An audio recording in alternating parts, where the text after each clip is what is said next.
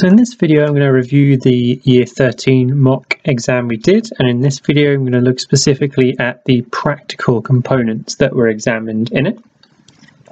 So let's first scroll through the question we're looking at capacitors.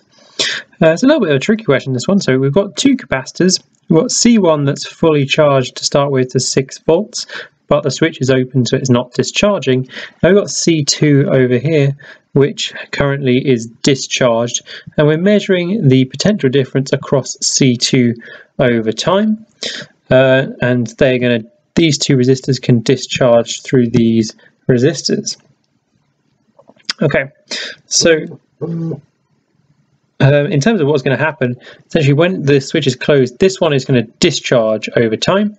This one will initially charge uh, until it and C1 reach an equilibrium, so there's the same potential difference, and then this one will start to discharge once this C1 isn't big enough to charge it anymore. So that's kind of what's going to happen.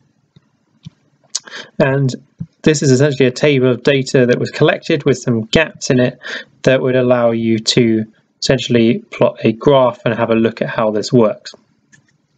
So the first question was looking, as it often was in these old ISA questions, um, at completing a table of data. And so the key thing is going to be maintaining consistent precision all the way down your column.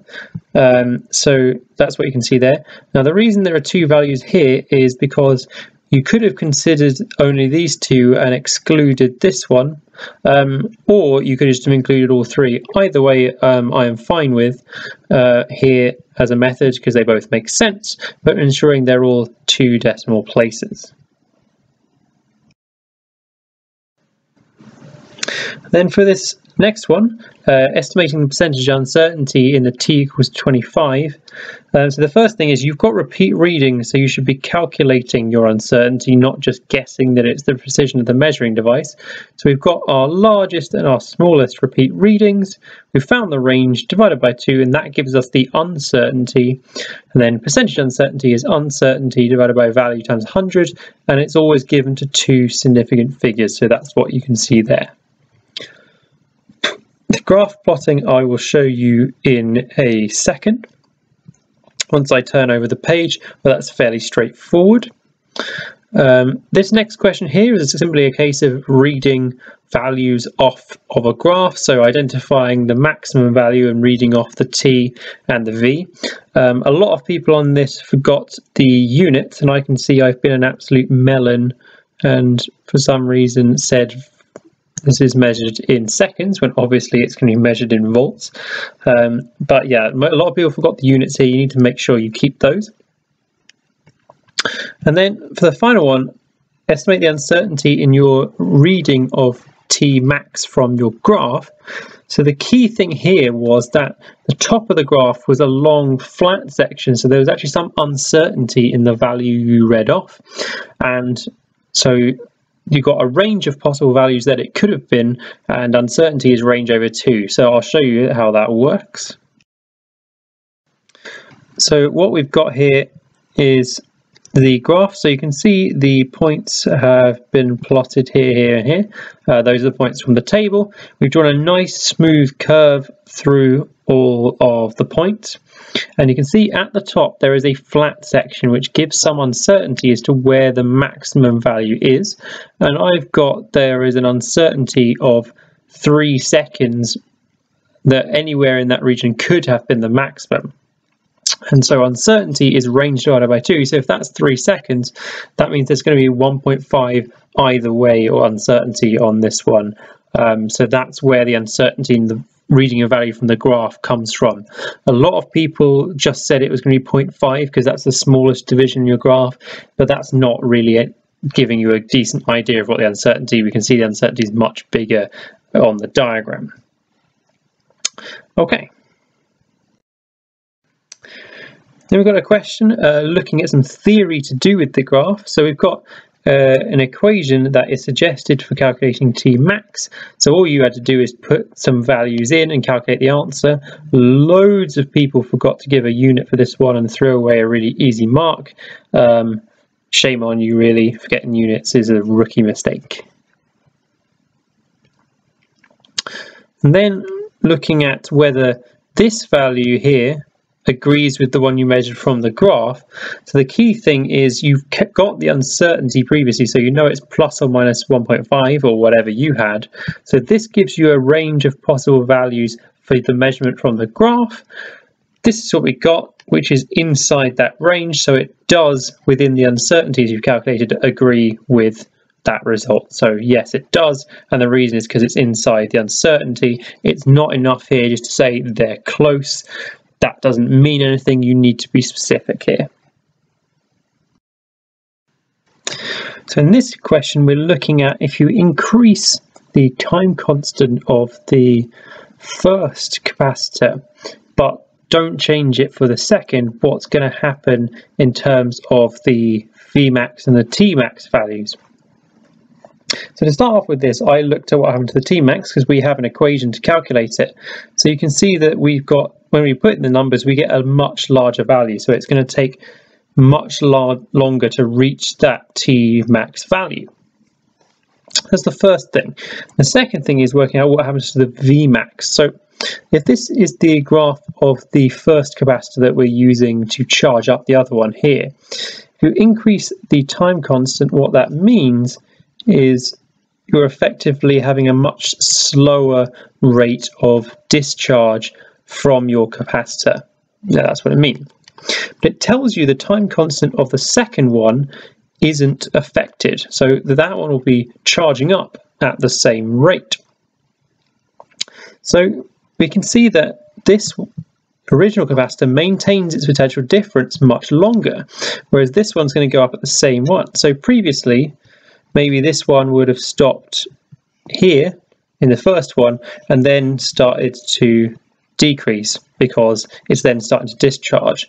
But if this charging capacitor maintains its potential difference for longer, but this one's rate of change increases, that would mean you're now able to charge it to somewhere up here and then go like that one. So we can actually see that the Vmax is going to end up increasing because the other one maintains its potential difference higher for longer there due to the increased time constant. So we end up with a bigger Tmax, but also a bigger Vmax, whereas a lot of people were saying in this question that Vmax would decrease, uh, which is not what would happen at all there. And if we're getting much slower rates of things, the final thing is like the peak section of your graph, you're likely to get be longer and flatter. So before we had like an uncertainty of 1.5 seconds, it's going to get flatter and longer, so that's going to increase actually as well. Okay, so that completes this capacitors question. So the second one is looking at uh, gravitational field strength and how we can go about measuring. This question is essentially about linking into the G by freefall practical, which is why we stuck it in this uh, mock exam. So the first thing is what is gravitational field strength? Well, it's the force experienced by a unit mass in a gravitational field. It's something you just have to know their definition. But the key thing to recognize is it's also on Earth anyway known as little g or the acceleration due to gravity. So when it asked you to design an experiment to measure it, essentially it was asking you to describe the g by free fall experiment, which is one of the required practicals.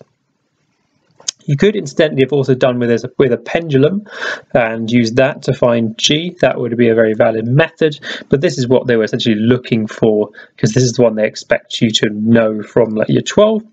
So in terms of the first one, looking at the setup, the best way to do this would be using light gates, or you can use a magnet and a trap door, some way of having improved um, accuracy in your time measurement. Uh, so that's the first thing you're looking for in the diagram. They were also looking for your measuring devices, so identifying using a light gate and a, for time um, and a meter ruler for distance. So what you're going to do is you're going to change the height and you're going to measure the time and your light gates will be connected, connected to a data logger so that would give you the time taken to fall that distance. And you plot a graph of t squared versus height um, and the reason for that is it comes from this equation here half at squared. If you drop it u is 0, so we can get rid of that. So we that's why we've got a graph t squared against s there. Okay, so we're going to use a range of heights. So we're going to use some longer distances to increase the times to reduce the percentage uncertainty. And we would repeat each of the uh, measurements there so we can get an average to get rid of some of the random errors that might crop up in our results.